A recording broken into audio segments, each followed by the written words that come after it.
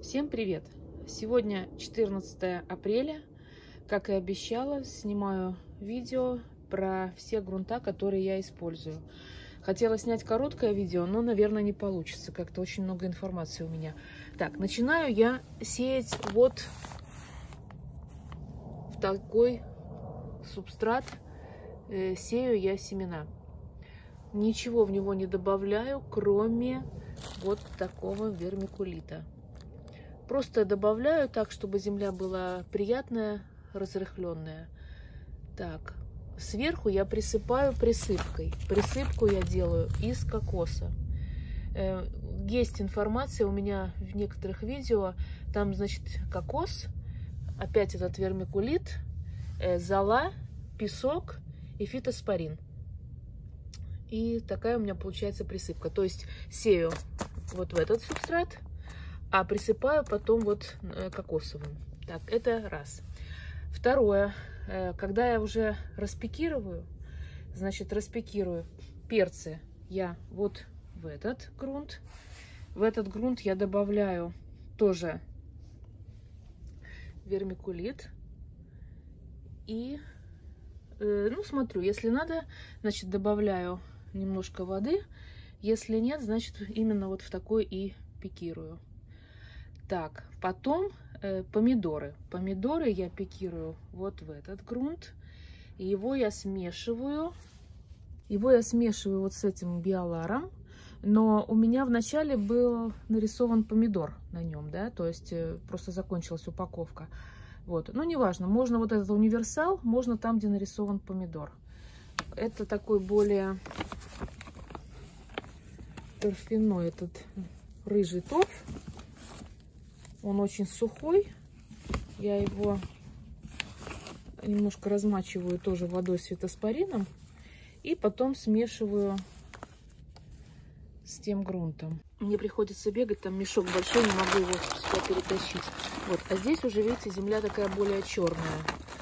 Я смешиваю примерно напополам, и в этот грунт тогда уже сажаю, э, распекирую помидорчики. Так, э, Добавляю немножко биомикса. Но это так, под настроение. Так, что потом? Потом, когда уже доходит время до, до перевалки, перевалку я уже делаю более насыщенный грунт. То есть перцы я также пересаживаю вот в этот, переваливаю. А томаты я уже больше процент вот этой земли и меньше процент э, этого рыж, рыжего торфа. Так, ну вот, э, здесь, видите, везде есть удобрение кандид. Я про него почитала. Это органическое удобрение. Э, на мой взгляд, очень хорошее, потому что вот, эти, вот этим субстратом я пользуюсь уже много лет. Именно для перцев. Чем он мне понравился, что я никак не могла найти где кислотность будет 6,5, 7,5. Вот такая кислотность, да, потому что перцы, э, кислотность, где написано 6, 5,5, 6, э, помидорам нормально, перцам мало. То есть 100% э, перцы, ну, у меня, во всяком случае, им не нравится. Этот субстрат им нравится очень. Так, вот, поэтому я купила вот этот вот кандид, так как у меня в парнике в теплице земля новая, и я так не совсем уверена в ней, я немножко вот его посыпала. Ну вот посеяла сидираты. Видите, сидираты растут хорошо. Значит, все, все в земле нормально. Это я здесь перешагиваю. А так вообще они очень хорошие. Вот, то есть всего хватает вроде бы.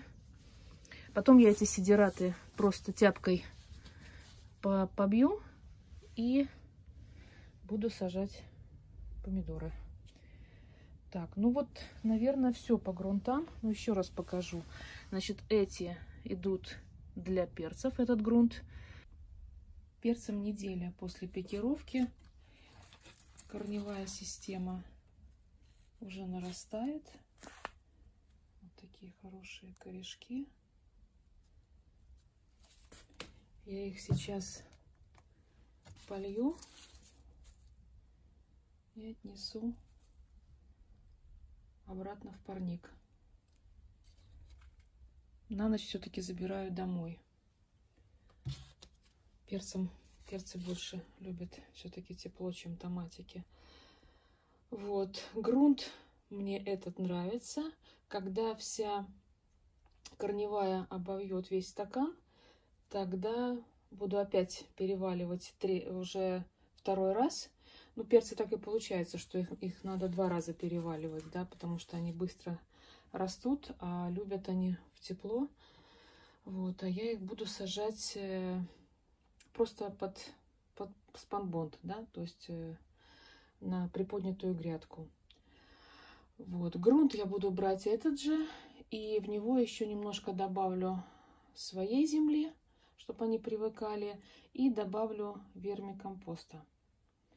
Так, и золы, ой, не золы, а э, мела или извести обязательно добавлю, да, потому что моя земля очень кислая, и как бы я добавляю. Помидоры я смешиваю вот этот вот грунт э, с рыжим торфом, биолар. Вот в этот грунт я высеваю именно семена.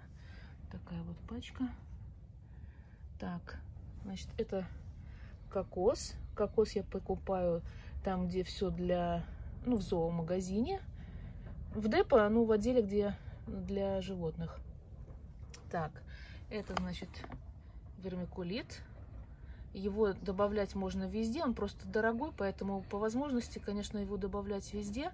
Он просто разрыхляет почву, и она не очень пересыхает тогда, ну, удобно. Не знаю, есть там в нем еще какие-то э, хорошие показатели. Но вот для разрыхления, для увлажнения идеально.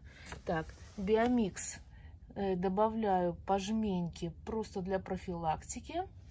И вот уже когда буду переваливать перцы во второй раз, уже большие, да, уже в такие в двухлитровые, тогда уже в этот грунт я еще добавлю вот вермикомпост, да, этот, ну, червячный, червячный, что червячный, не знаю, ну, в общем, переработанная червячками земля.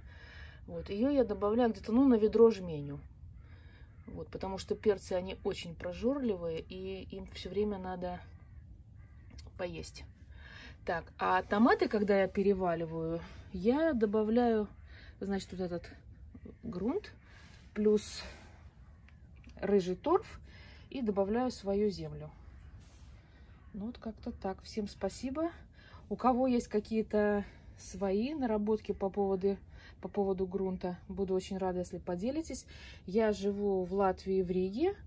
И, в принципе, все покупаю либо в депо, ну вот в данный момент эти покупала в Синукае, да, потому что рано весной, там у них были самые приемлемые цены, и, в общем, там удобно было.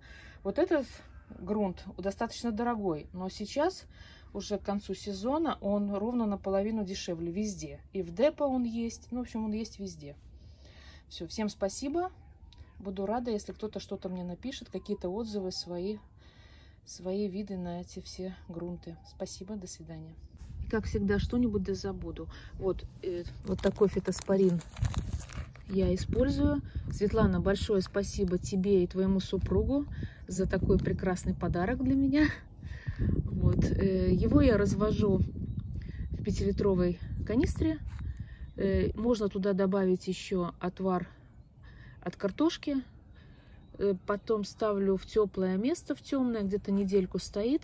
Там начинается такой процесс, не знаю даже как брожение, не брожение, но что-то происходит. Вот, потом ставлю его в парник, эту канистру, и добавляю 100 грамм на ведро где-то. Ну, я так на глаз, э, хуже не будет. И все поливаю, все удобряю опрыскиваю. В общем, везде использую этот фитоспорин.